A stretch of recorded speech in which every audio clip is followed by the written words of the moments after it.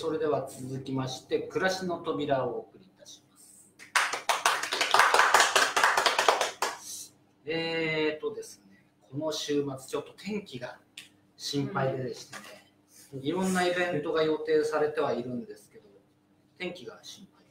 えーと、ちょっとチラシのないところから先に情報いっちゃいますけど、あそれもそうですね、9月ですね。あのーこれ、この前、クリップさんに行った時にあの教えてもらったんですけど、那須塩原感謝祭、あうまいうまい那須塩原感謝祭にえ出展されるそうで、あハトちゃんも出るって言ってましたね、メイドさん。はい。えーと、こちらはですね、30日の日曜日午後11、あ、午後 午後11時じゃない、午前11時から、えー午後5時まで西那須野駅前通りで行われます。えーチラシがなくてごめんね、ごめんね。えー歩行者天国、えー職業体験ブースとありますね。えー壁塗り、あのー魚屋さんですね。あの、魚屋さんですかね。はい。えーそれから、カンナ掛け、えー重機操作、アクセサリー加工とか、ね、随分いろいろな体験ができるようです。えー軽トラ一ブースもあります。それから、えーステージパフォーマンスは、えー素敵なパフォーマンス、パフォーマーたちがイベントを盛り上げます。歩行者天国です。ということでありました。えーそれからもう一つ、えーと、こちらは、えー、ナスアートクラフトフェア、えーと、コミュニティガーデンナスクラブさんの方で行われる、えーこちらも今回が第10回になる、10回記念イベントですね。えー29日、30日と2日間行われます。えー行きたいなと思ってますけど、本当天気心配ですね。えーそれからこちら、えーこちらは早々と、えー中止が、えーとの情報が上がっております。えーキラ麦食マルシェ、えーこちら毎月やってたのかな、えー第13回になります、えーキラ麦の食マルシェ、あのあの缶詰、パンの缶詰ので有名なあの、えなぜ、なぜの。ーなんだっけ、あの名前が出てこない。秋元パン屋さんですね、えーのきら麦でのところで、お店のところでやってます、マルシェですけども、今回、台風が近づいているということで、えー早々と、えー中止が決定されてます。えー来月は予定通りやるあの、来月も予定してますということなので、えーまあ、今回でやれませんけども、来月参加してあのいらしてくださいということで、あの情報が上がっておりました。それでは、こちらからいきますかね。あ、僕渡しましょうか。あ。ズーミングします。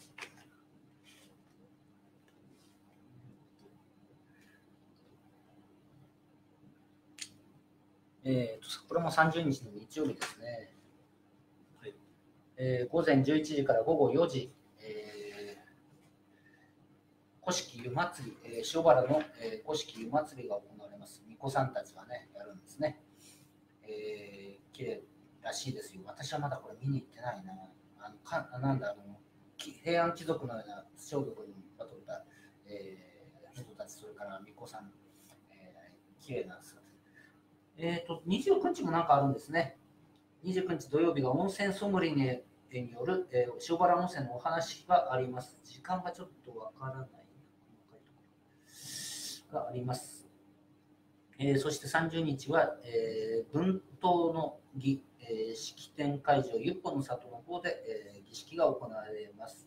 新式になるんですね、きっとね。えー古式ゆかしい感じの、え祭りが行われます。30日ですね。それから、これみんな野外ですから大丈夫ですかね。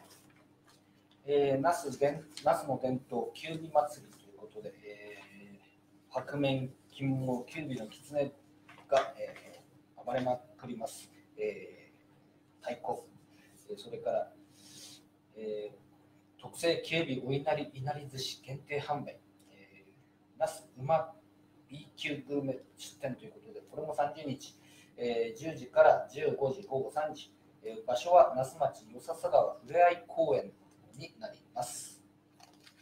はい。えー同じく30日、那須野ヶ原ハーモニーホールでは、えー0歳からの親子オルガンコンサートということで、えー未就学児も入 OK、0歳から入場 OK で、未就学児は入場無料ということで、えー幼子のための、えーコンサートですね、えー輝く光の中へと行われます。いいですね。こちらも30日。えー、黒磯文化会館で大ホールで行われます、えー、黒磯オペラを作る会の第18回定期公演メリーウィード、えー、喜歌劇メリーウィードが行われます。そんなところですかね。あと何かありましたか？あとね、そんなところですね。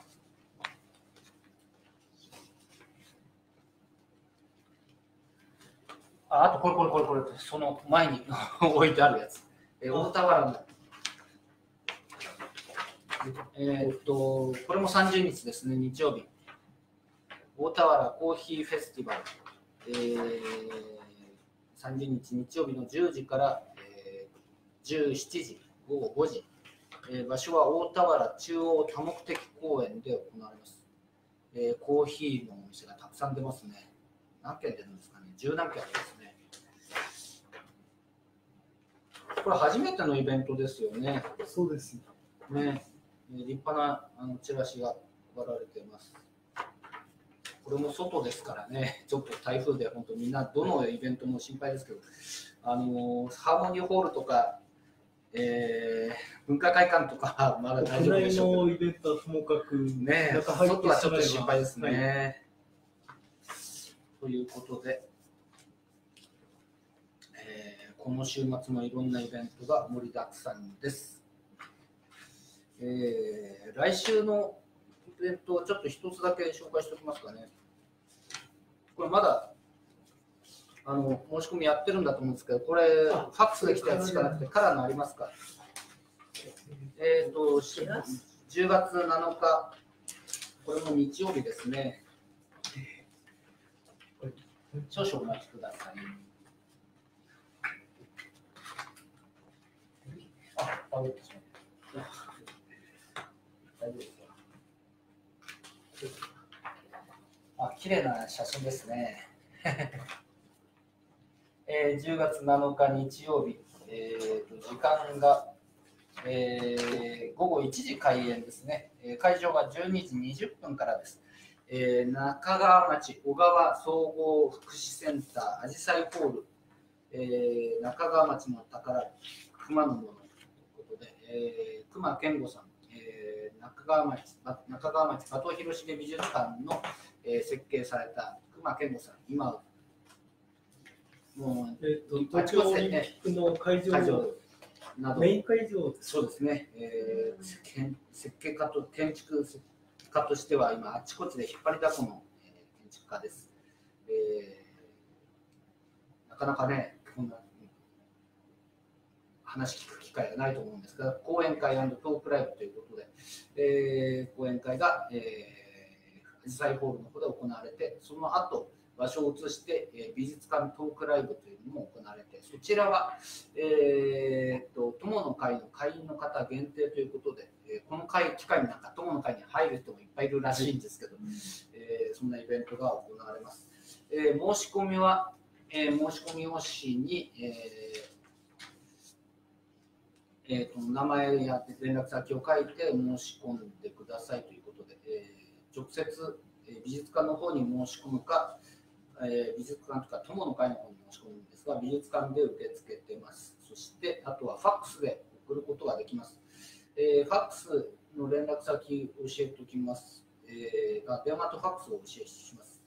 えー、友の会の電話番号が0287-92-1199 0287-92-1199、えー、そしてファックスが、えー、0287-92-7177えー、0287-92-7177えー、と私、これあのファックスで申し込み用紙を送ってもらって、そのファックスでまた申し込みをしたんですけども、えーはがき送られてきました。あね。